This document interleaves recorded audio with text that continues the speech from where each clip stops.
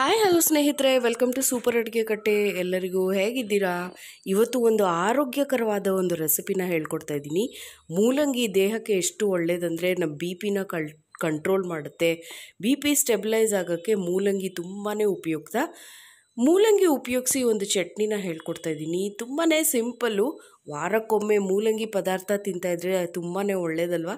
So ಈ ಥರ ಚಟ್ನಿ ಮಾಡ್ಕೊಬೋದು, ಎರಡೇ ನಿಮಿಷದಲ್ಲಿ ಮಾಡ್ಬೋದು.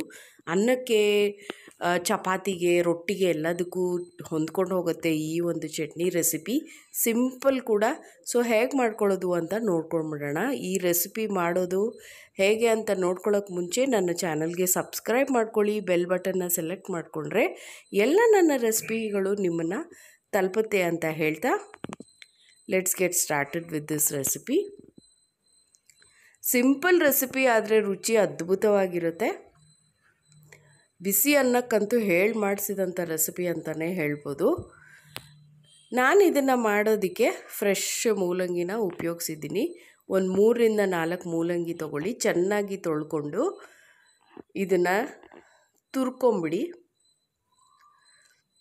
ಮೂಲಂಗಿನ ತುರ್ಕೋಬೋದು, ಇಲ್ಲಾಂದರೆ ಸಣ್ಣಕ್ಕೆ ಕೂಡ ಹೆಚ್ಕೋಬೋದು. ತುರಿದ್ರೇ ಒಳ್ಳೆಯದು ನೋಡಿ ಈಗ ಮೂಲಂಗಿನ ತುರಿದಿಟ್ಕೊಂಡಿದ್ದೀನಿ. ಇದ್ರ ಜೊತೆಗೆ ಐದರಿಂದ ಆರು ಹಸಿಮೆಣಸಿನ್ಕಾಯಿ ಹುಣಸೆ ಹಣ್ಣು ಕೊತ್ತಂಬರಿ ಸೊಪ್ಪು ಕಾಯಿ ತುರಿನ ಉಪಯೋಗಿಸ್ತಾ ಇದ್ದೀನಿ.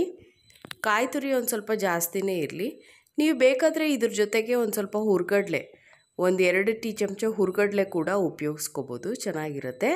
ಇದನ್ನೆಲ್ಲ ಈಗ ಮಿಕ್ಸಿ ಜಾರ್ಗೆ ಹಾಕ್ಕೊಂಡಿದ್ದೀನಿ ಮಿಕ್ಸಿ ಜಾರ್ಗೆ ಹಾಕ್ಕೊಂಡು ನೀರು ಹಾಕ್ಕೊಳ್ದೆ ರುಬ್ಕೊಳ್ಳಿ.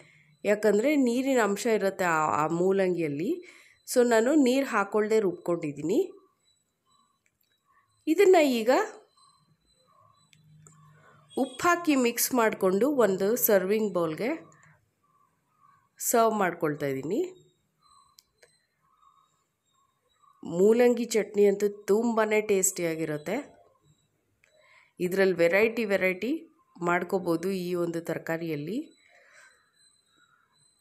ಸೊ ಇದ್ರ ಮೇಲೆ ಒಂದು ಒಗ್ಗರಣೆ ಕೊಟ್ಬಿಡೋಣ. ಒಗ್ಗರಣೆಗೆ ಎಣ್ಣೆ, ಸಾಸಿವೆ, ಸ್ವಲ್ಪ ಕರ್ಬೇವಿನ ಸೊಪ್ಪನ್ನು ಹಾಕ್ಕೊಂಡು, ಇಂಗನ್ನು ಹಾಕ್ಕೊಂಡು ಮೂಲಂಗಿ ಮೇಲೆ ಒಗ್ಗರಣೆ ಕೊಡ್ತಾ ಇದ್ದೀನಿ ಚಟ್ನಿ ಮೇಲೆ. ಸೊ ರೆಡಿ ಆಗೋಯ್ತು ನೋಡಿ, ಒಂದು ಒಳ್ಳೆ ಸೂಪರಾಗಿರೋ ಮೂಲಂಗಿ ಚಟ್ನಿ. ನಾನು ಹೇಳ್ದಂಗೆ ಬಿಸಿ ಅನ್ನ ಇದ್ದಾಗ ಬಿಸಿ ಅನ್ನಕ್ಕೆ ಹಾಕ್ಕೊಂಡು ತಿನ್ಬೋದು.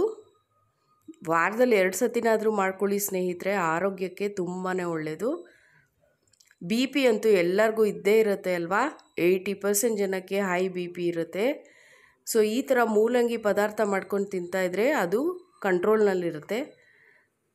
ಸೊ, ಮಿಸ್ ಮಾಡದೆ ಈ ಥರ ಮೂಲಂಗಿ ರೆಸಿಪಿನ ಟ್ರೈ ಮಾಡಿ, ಲೈಕ್ ಮಾಡಿ, ಕಾಮೆಂಟ್ ಮಾಡಿ, ಶೇರ್ ಮಾಡಿ. ಮತ್ತೆ ಸಿಗ್ತೀನಿ. ಬಾ ಬಾಯ್